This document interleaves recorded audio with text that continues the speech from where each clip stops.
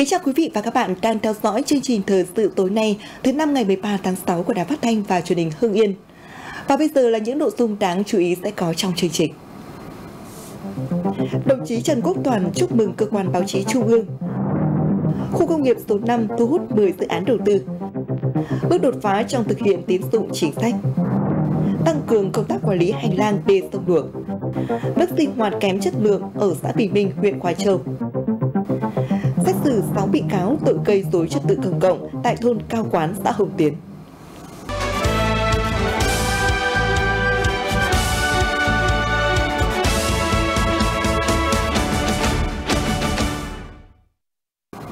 Thưa quý vị và các bạn, nhân kỷ niệm 99 năm Ngày Báo chí Cách mạng Việt Nam 21 tháng 6 năm 1925, 21 tháng 6 năm 2024, Sáng nay, đồng chí Trần Quốc Toàn, Phó Bí thư Thường trực tỉnh ủy, Chủ tịch Hội đồng Nhân dân tỉnh đến chúc mừng Bộ Thông tin và Truyền thông, Tạp chí Cộng sản, Cổng Thông tin Chính phủ, Báo Điện tử Đảng Cộng sản Việt Nam. Cùng đi có đồng chí Nguyễn Duy Hưng, Phó Chủ tịch Ủy ban Nhân dân tỉnh.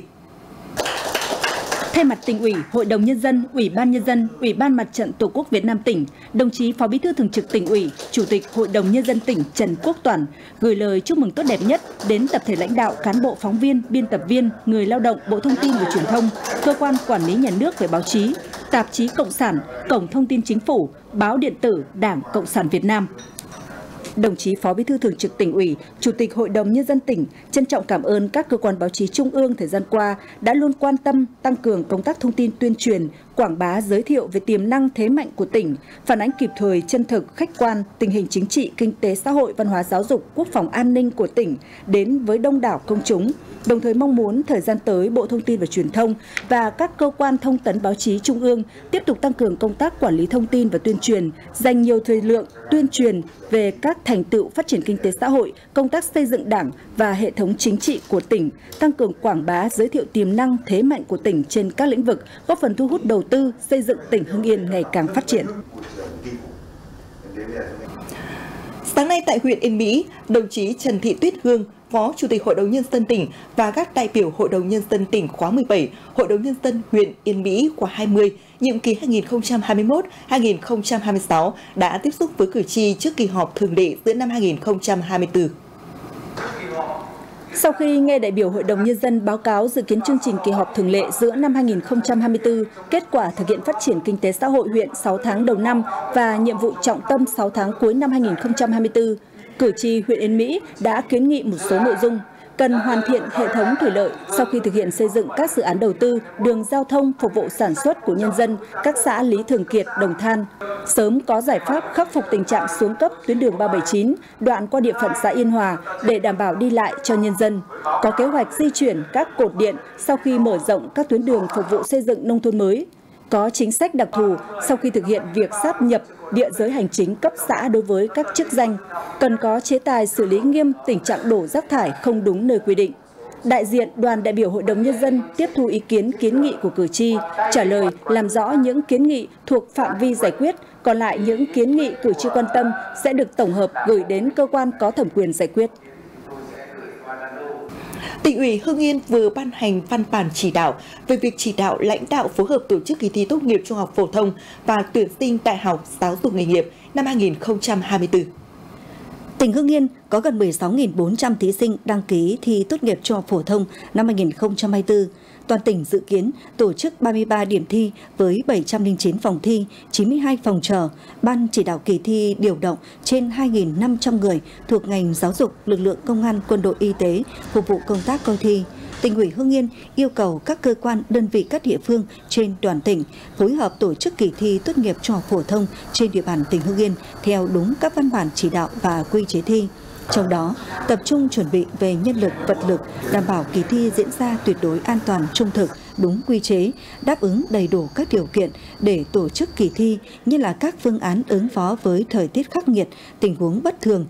tạo thuận lợi nhiều nhất cho việc dự thi của thí sinh, không để thí sinh nào không thể tham gia thi do khó khăn về kinh tế hay đi lại, đồng thời đẩy mạnh công tác truyền thông về kỳ thi, tuyển sinh đại học và giáo dục nghề nghiệp, hoạt động tư vấn, giúp học sinh lựa chọn nghề nghiệp, qua đó ổn định tâm lý của thí sinh và gia đình, tránh có sự xáo trộn hoặc những luận điệu sai lệch về kỳ thi.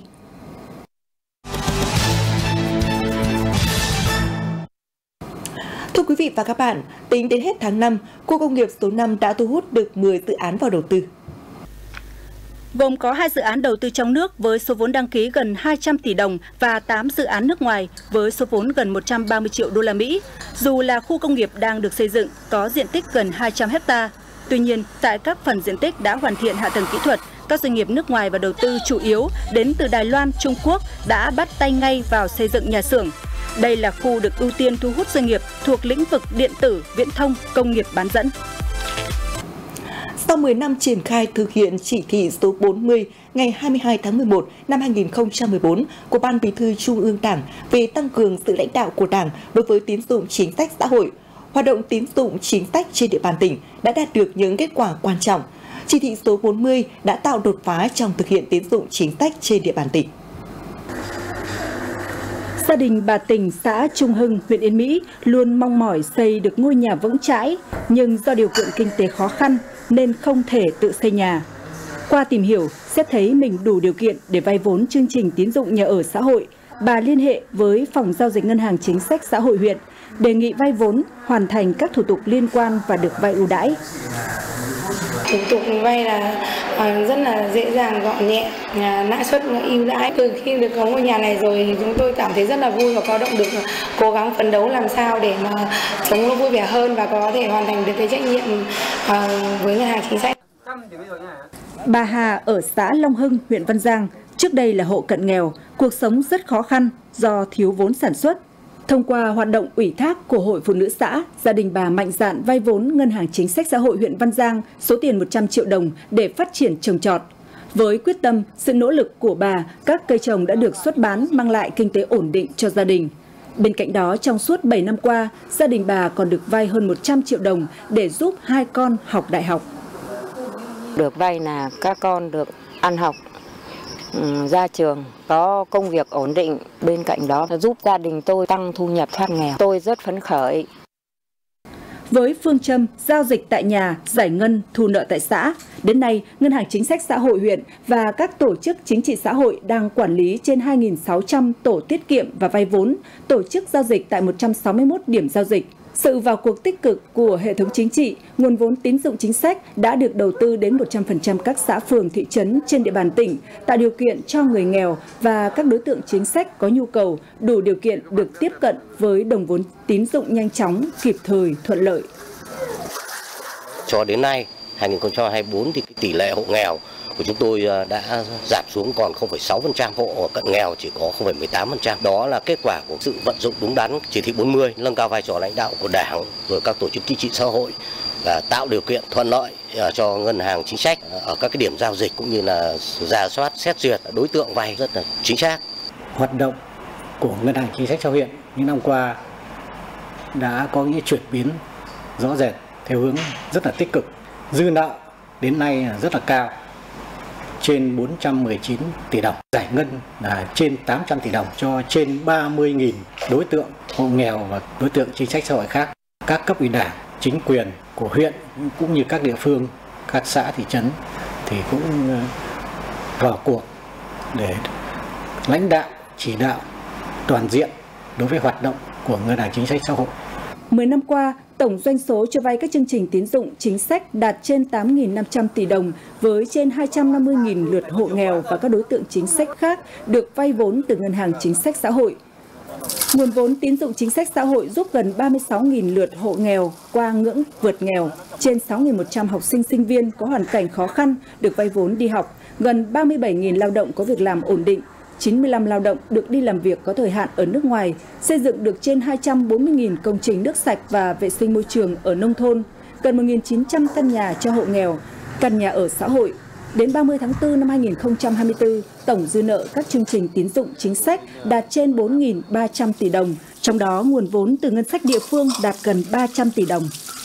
Sau 10 năm triển khai thực hiện chỉ thị số 40 của Ban Bí thư thì công tác tín dụng chính sách xã hội trên địa bàn tỉnh đạt nhiều kết quả thiết thực, đóng góp quan trọng vào thực hiện uh, chương trình mục tiêu quốc gia về giảm nghèo bền vững, xây dựng nông thôn mới và đảm bảo an sinh xã hội. Ờ, để thực hiện tốt chỉ thị số 40 của Ban Bí thư thì ờ, trong thời gian tới ngân hàng chính sách xã hội tỉnh hưng yên tiếp tục tham mưu với cả tỉnh ủy hội đồng nhân dân ủy ban nhân dân tỉnh hàng năm cân đối ưu tiên À, bố trí ngân sách bổ sung nguồn vốn ủy thoát qua ngân hàng chính sách xã hội à, tỉnh thế và phấn đấu đến năm 2030 nguồn vốn à, ngân sách ủy thác đạt tối thiểu là 15% tổng nguồn vốn theo chiến lược phát triển của ngân hàng chính sách xã hội đến năm 2030. Có thể khẳng định tín dụng chính sách xã hội là một chính sách an sinh xã hội đặc biệt, tiếp sức cho người nghèo, các đối tượng chính sách trong hành trình vượt lên khó khăn để không ai bị bỏ lại phía sau. Mùa mưa bão đang đến gần, cùng với công tác khơi thông dòng chảy tiêu thoát lũ, chính quyền các cấp trên địa bàn huyện Phù Cử tăng cường tiết chặt việc quản lý bảo vệ hành lang đê sông luộc, đặc biệt trong công tác ngăn chặn, xử phạt các trường hợp vi phạm hành lang đê. 6 năm nay, trên địa bàn xã Tông Trân đã không xảy ra trường hợp vi phạm mới trên hành lang đê điều sông Luộc. Nhiều hộ khi có nhiều dấu hiệu vi phạm đã bị chính quyền xã phối hợp với hạt quản lý đê điều huyện Phù Cử kịp thời phát hiện và ngăn chặn. Tuy nhiên, trên địa bàn xã còn 40 trường hợp vi phạm hành lang đê vẫn chưa được xử lý dứt điểm. Đây là các hộ vi phạm đã tồn tại gần 30 năm ngăn chặn ngay từ đầu bắt đầu có manh nha mà khi mà có máy và có tập kết vật liệu xuống là ủy ban xã sẽ chỉ đạo cán bộ chuyên môn phối hợp với hạt D yêu cầu dừng ngay và không để phát sinh các cái vi phạm mới. Huyện Phù Cử có gần 10 km đê sông Luộc đi qua ba xã Tống Trân, Nguyên Hòa, Tam Đa. Hiện vẫn còn 50 trường hợp vi phạm cũ từ giai đoạn 1997 đến 2018, trong đó vài hộ có giấy chứng nhận quyền sử dụng đất Chính quyền các xã đã lập biên bản, hồ sơ làm việc, các hộ trên cũng ký cam kết giữ đúng hiện trạng, không lấn chiếm thêm. Trên địa bàn huyện còn hai bãi tập kết vật liệu xây dựng luôn được chính quyền địa phương và hạt quản lý đê điều huyện thường xuyên kiểm tra, ra soát để đảm bảo an toàn hành lang thoát lũ, đặc biệt trong mùa mưa bão này. Trong thời gian qua, Ủy ban nhân dân xã đã phối hợp chặt chẽ với hạt quản lý đê của huyện Phù Cử thường xuyên kiểm tra các tuyến đê bối trên địa bàn xã, xử lý triệt để các trường hợp vi phạm. Nhiều năm trở lại đây, các cái ờ, vi phạm về hành lang bảo vệ đê điều và công trình thủy lợi không có vi phạm mới phát sinh. Khi ờ, các bộ tuyến mà kiểm tra phát hiện ra có một dấu hiệu vi phạm vào trong hành lang của đê thì hạt đê phối hợp với ủy ban nhân dân xã tuyên truyền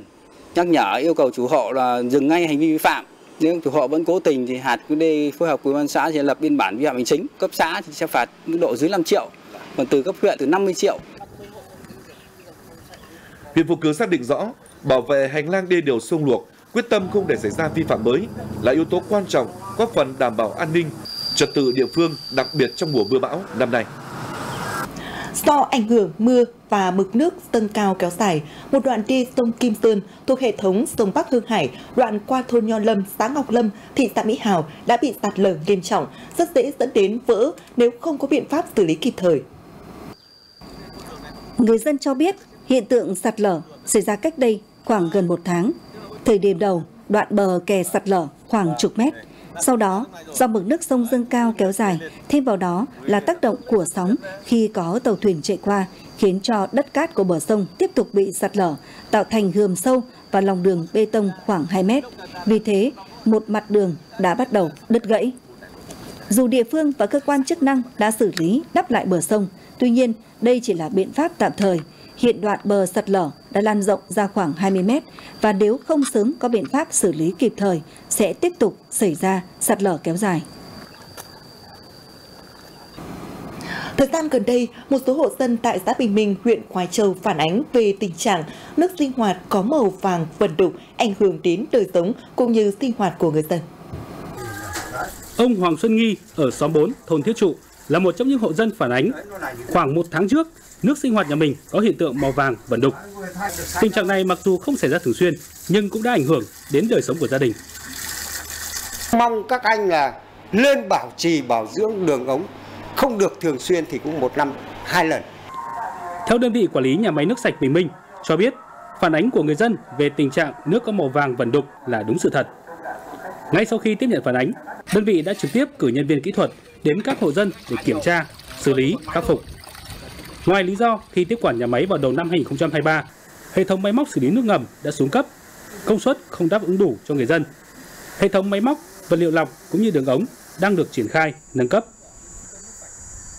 Qua quá trình ờ, nông thôn mới hơn ờ, 10 năm nay thì tất cả các đường ống chính của nhà máy đã bị chôn sâu ở dưới lòng đường. Các điểm mà xả cặn trên các đường ống chính cũng đã bị chôn vùi nên rất là khó khắc phục. Nhà máy là bơm được không được 24 trên 24 nên là qua quá trình sử dụng thì trong các đường ống ấy, bị bám cặn khi bơm nước mới vào. Ngay sau khi nắm được thông tin, huyện Khói Châu đã có văn bản chỉ đạo xã Bình Minh cùng đơn vị cung cấp nước làm rõ sự việc người dân phản ánh. Đồng thời, đề nghị Trung tâm nước sinh hoạt và vệ sinh môi trường nông thôn tỉnh Hưng Yên kiểm tra về điều kiện cấp nước và chất lượng nước nắm bắt được một số thông tin của bà con phản ánh về tình trạng chất lượng nước không được đảm bảo, chúng tôi cũng đã cho phối hợp kiểm tra, yêu cầu nhà máy nước khắc phục các cái tình trạng trên. Nhà máy nước sạch Bình Minh hiện đang cấp nước cho khoảng 2.000 hộ dân ở xã Bình Minh. Để khắc phục tình trạng này, nhà máy đang khẩn trương kiểm tra, xử lý tại 9 điểm đấu nối để sục rửa. Đơn vị cũng cho biết, sau khi nâng cấp hệ thống lọc cũng như xây dựng bể mới, đến cuối năm 2024 sẽ khắc phục triệt để tình trạng nước vàng đục như phản ánh của một số người dân. Thời tiết mùa hè nắng nóng, độ ẩm trong không khí khá cao là những điều kiện thuận lợi cho các tác nhân gây bệnh như vi khuẩn, siêu vi, bùng phát, tấn công và gây bệnh cho con người, nhất là đối với đối tượng trẻ em có sức đề kháng còn yếu. Các bác sĩ lưu ý, cha mẹ cần cẩn trọng để bảo vệ trẻ khỏi một số bệnh thường gặp vào mùa hè. Những tuần gần đây, hai khoa nội nhi 1 và 2 của Bệnh viện Sản Nhi tỉnh Hưng Yên thường xuyên có từ 70 đến hơn 100 trẻ nhập viện điều trị, trong đó có bùng bệnh có đến hàng chục ca trẻ bị cúm các loại. Triệu chứng của con là sốt liên tục, nhiệt độ thì cao, uống hạ sốt rồi nhưng mà không hạ được. Thế này em đưa xuống bệnh viện khám, xét nghiệm thì kết quả cháu bị cúm B. Hầu hết số trẻ phải nằm viện rơi vào nhóm trẻ dưới 2 tuổi với các nhóm bệnh về đường hô hấp như viêm mũi họng, viêm phổi, phế quản. Cùng với đó là nhóm bệnh về đường tiêu hóa và một số bệnh ngoài da như viêm da, rôm sảy bầy đay, gây ngứa ngáy, khó chịu. Thời tiết nắng nóng cũng tạo điều kiện cho một số loại virus và mũi phát triển nên trẻ hay bị mũi đốt. Có thể mắc các bệnh do virus gây ra như sốt xuất huyết, viêm não Nhật Bản, bệnh chân tay miệng. Đặc biệt thời gian gần đây, Bệnh viện Sản Nhi Hương Yên ghi nhận trường hợp trẻ nhập viện điều trị do bị viêm dạ dày khi mới 5 tuổi hay trẻ 5 tháng tuổi bị ho gà do chưa kịp tiêm chủng đúng lịch.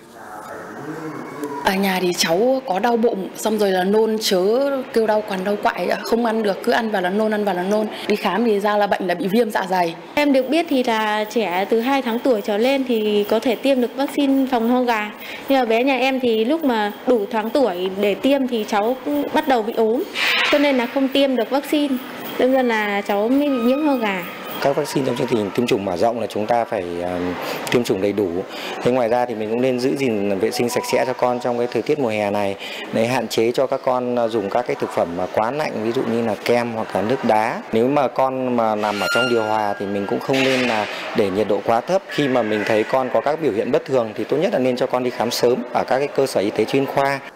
Tại khoa nhi của bệnh viện Đa khoa tỉnh và bệnh viện Đa khoa Hưng Hà cũng đang có từ 40 đến 60 trẻ nhập viện điều trị để bảo vệ sức khỏe của trẻ trong mùa nắng nóng, các bác sĩ cũng khuyến cáo phụ huynh cần cho trẻ uống nhiều nước, bổ sung đầy đủ dinh dưỡng để tăng sức đề kháng, tuân thủ việc ăn chín uống sôi, bảo quản thực phẩm kỹ càng,